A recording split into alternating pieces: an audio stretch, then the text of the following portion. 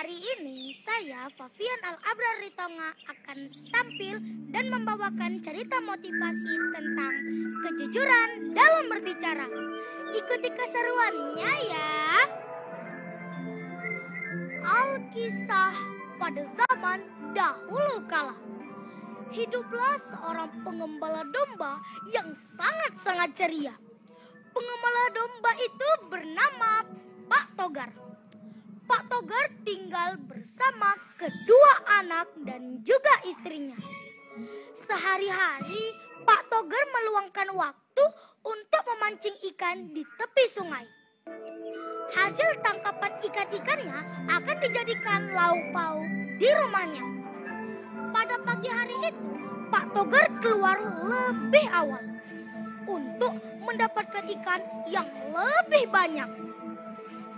Pak Togar pun mempersiapkan alat-alat memancingnya.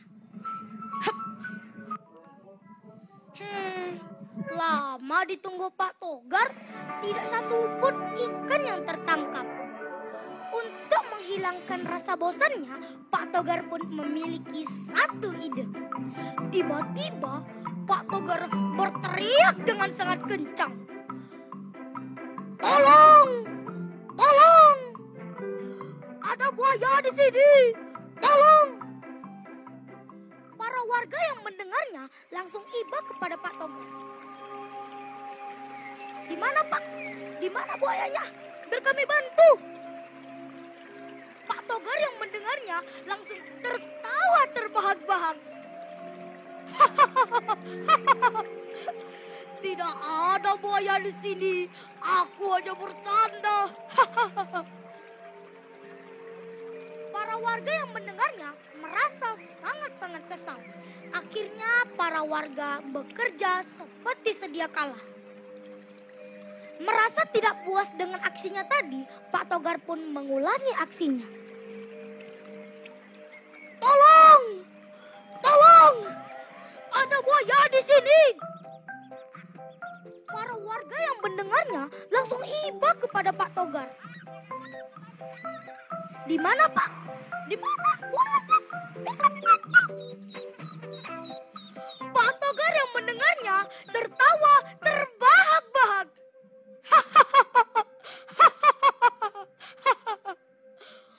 Tidak ada buaya di sini. Aku aja bercanda. Salah satu pemuda kampung berkata kepada Pak Togar. Hei Pak Togar, jangan suka berbohong. Kalau Pak Togar suka berbohong, tidak akan ada orang yang percaya dengan Pak Togar.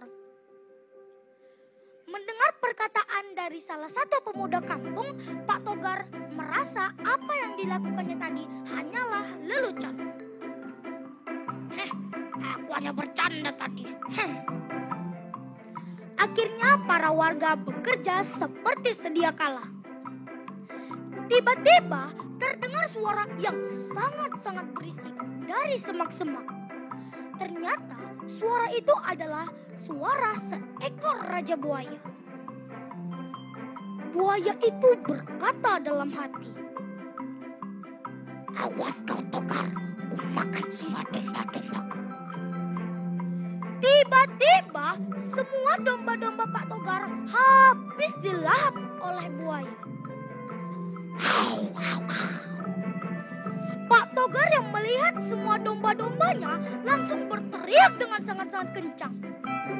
Tolong! Tolong! Ada buaya di sini! Tolong!